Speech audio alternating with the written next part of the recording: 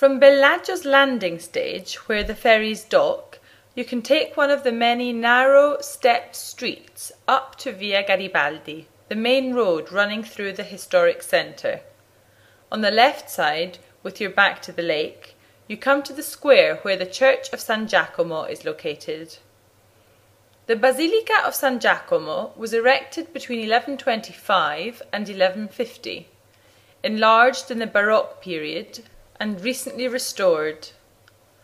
All that remains of the original building are three apses with a series of external dentils and small arches on the cornice, and, in the interior, four capitals and the symbols of the Evangelists worked in relief on the ambo where the Gospels were read. The campanile was originally a tower, part of the long gone walls of the town.